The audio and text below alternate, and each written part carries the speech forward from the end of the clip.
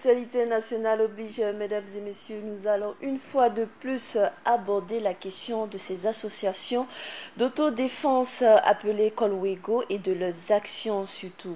Euh, dans l'édito du jour avec Ismaël Ouidrago. Bonjour et bienvenue. Bonjour Alida, bonjour à tous. Alors ces associations se propagent à une vitesse, euh, je ne sais pas comment la qualifier. Sont-ils aujourd'hui en train de dicter leur loi eh disons tout simplement qu'il y a quand même de la prudence à observer dans la gestion même de ces associations Corluego aujourd'hui.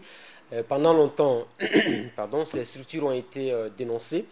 Malheureusement, lors des dernières sorties du ministre de l'administration territoriale et de la sécurité intérieure, il a notamment fait cas de les canaliser. Alors, dès lors qu'on a parlé de canaliser ces structures, on s'est rendu compte comme une traînée de poudre, ces structures ont commencé à s'installer un peu partout. Mhm. Alors, ce qui vient de se passer au niveau de la ville de Sapu est ni plus ni moins qu'une euh, défiance de l'autorité de l'État. Parce que si vous avez des gens qu'on accuse d'avoir été à l'origine de la mort de quelqu'un et qu'on veut auditionner que ces personnes refusent de se faire entendre par la justice, nous sommes dans un état de droit, ça pose nettement problème. Parce que pendant longtemps, on nous a fait croire que euh, le Burkina Faso ne pouvait pas accepter que des gens se rendent véritablement justice eux-mêmes. Mhm.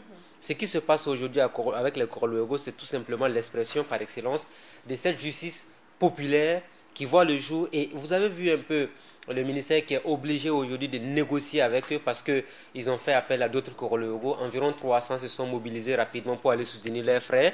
Mais j'ai dit c'était ridicule les images que moi j'ai pu voir. Est-ce qu'avec ces armes-là, vous pouvez défier l'autorité de l'État? On est d'accord ensemble qu'il faut quand même travailler à sécuriser les populations dans toutes les régions du Burkina Faso, mais cette sécurisation doit se faire dans les règles de l'art et il ne faut pas permettre à des associations illégales de prospérer. Alors, parce que quand on fait euh, l'apologie de ces genres de structures qui n'ont pas de récépissé de reconnaissance, qui n'ont aucune autorisation officielle, et que ces structures continuent de, de persévérer, continuent de s'implanter un peu partout, il y a de quoi quand même craindre pour l'avenir. Alors, tout comme moi, M. Oudago, vous avez en votre possession le communiqué euh, de presse du ministre euh, d'État, ministre de l'administration territoriale. Il y a un aspect particulier qui me touche, c'est lorsque euh, ce communiqué dit que le 17 février dernier, des éléments se réclamant des Colwego les Coloriaux ont été même mis en griffe. Ça veut dire que c'est même pas sûr que ces personnes-là étaient de ces associations d'autodéfense. les Coloriaux représentent aujourd'hui un véritable serpent de mer qu'il est difficile d'attraper. Ils ont mis entre guillemets pour simplement dire, puisque en réalité, le ministère ne devait même pas accepter prononcer le mot Corloego, puisque nous sommes dans la logique d'un état de droit. Dans un état de droit, les autorités ne travaillent qu'avec les structures officielles. Ça veut dire que si les Corloego avaient une reconnaissance officielle aujourd'hui, il n'y avait pas de raison d'éviter de, discuter avec elles, ces associations-là. Mais si c'est une association illégale, est-ce que moi, je peux me permettre demain matin de créer une association de défense de, mes voisins dans mon quartier et chaque fois que j'attrape un voleur et je commence à le torturer jusqu'à ce que mort s'en suive, il faut que le ministère vienne négocier avec moi? Est-ce que vous trouvez que c'est normal? Je trouve qu'aujourd'hui, nous devons être logiques avec nous-mêmes. Parce que le ministère, moi, j'ai le communiqué, comme Alida l'a dit tout à l'heure, parce qu'on parle de personnes qui ont été soupçonnées de vol de peu. Alors, rien ne prouve qu'ils sont véritablement les auteurs. Dans la justice ordinaire, on ne peut pas permettre à un policier. Rappelez-vous de l'affaire Justin Zongo. On a parlé des policiers à Koudougou en 2011 qui ont attrapé un élève, qui sont allés attraper un élève mani militari en pleine classe, en pleine cour, et finalement qui a été torturé à mort. Vous avez vu ce que cela a eu comme répercussion sur l'ensemble du territoire? Il y a eu des mutineries. Blaise Compaoré a fui son palais présidentiel. Il a fallu qu'il revienne après ça avait créé une véritable crise. le droit de le faire alors. Aujourd'hui, on ne peut pas accepter qu'en 2011, le peuple burkinabé se soit mobilisé comme un seul homme pour dire nous ne voulons plus encore de cette injustice, que cette injustice revienne sous une autre forme avec des associations illégales.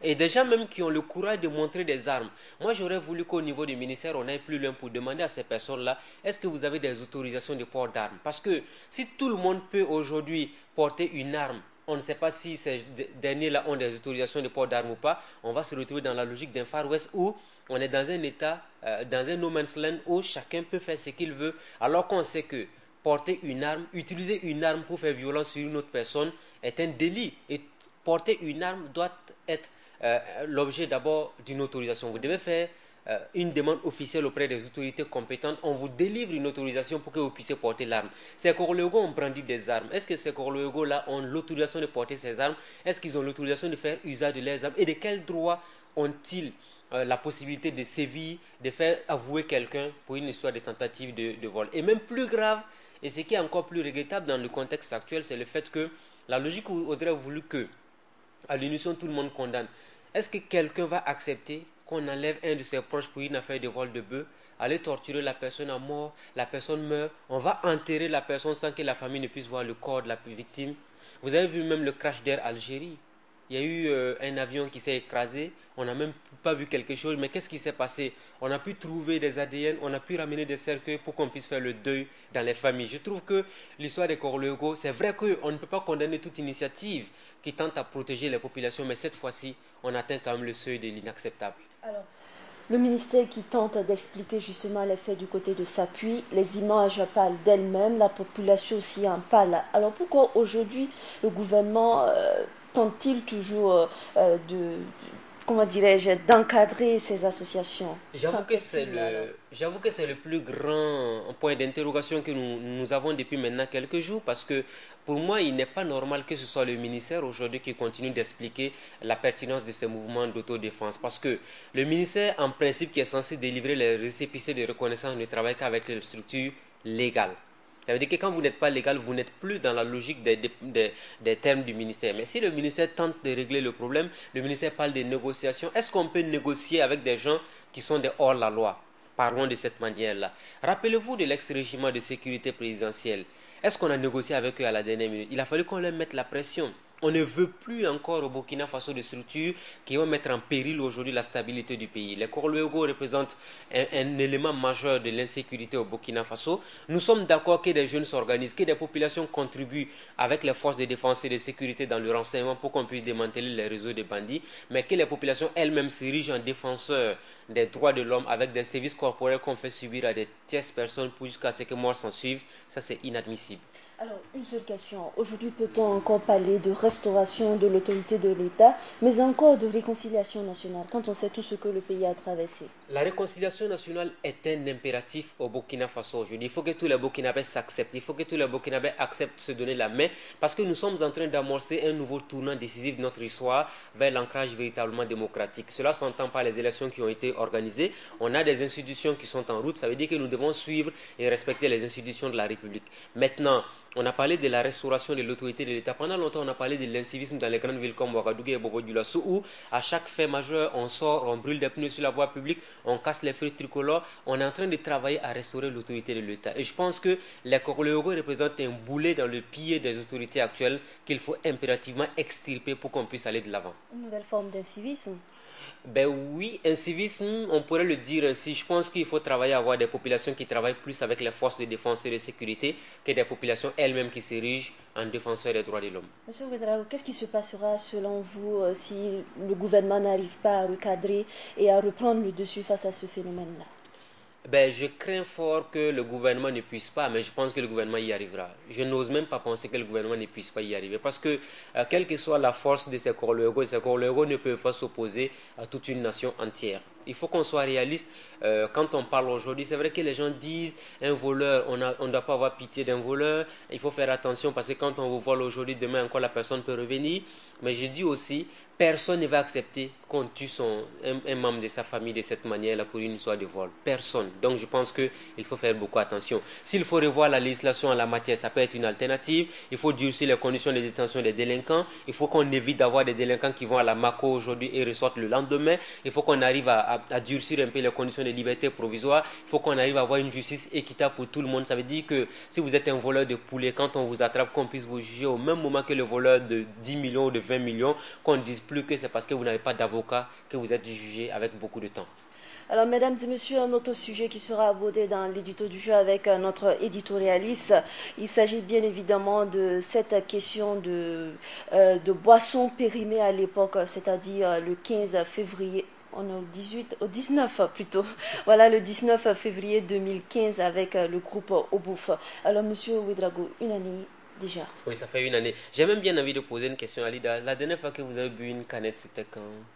Ça date, oui. Voilà, donc ça fait que euh, pendant longtemps, les Burkinabés évitent de boire les, les, les, boissons avec les canettes. Ça fait exactement un an aujourd'hui, jour pour jour, que euh, l'unité d'intervention polyvalente de la police nationale, l'UIPN, a, a, fait une descente au niveau euh, de Gampela, qui est un village situé à la sortie est de la ville de Ouagadougou, où on a pu découvrir ces canettes périmées, donc appartenant au groupe du nord de cet opérateur économique. Ça va créer un véritable tollé parce que le seul motif qui avait été retenu en son temps par la justice burkinabé, c'est la tromperie des consommateurs.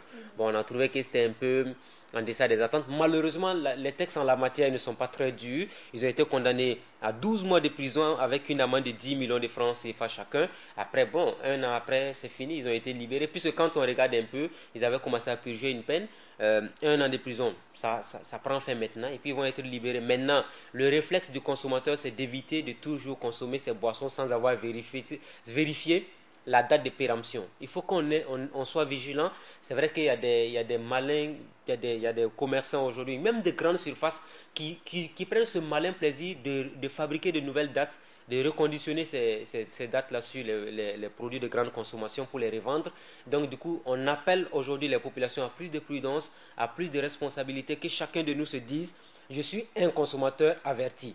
Je n'ai plus le droit donc d'aller payer une canette de Fanta ou de Coca et puis me rendre compte que euh, je n'ai même pas eu le temps de vérifier la date de péremption, je commence à boire. Ça veut dire que tout le monde est appelé à jouer un rôle important. Ça fait un an aujourd'hui que l'affaire bouffe a éclaté. Ça a permis euh, de démanteler toute une chaîne. Mais qu'est-ce que euh, cette entreprise devient aujourd'hui Personne ne le sait. Euh, euh, les, comment dirais-je Les organisations de la société civile?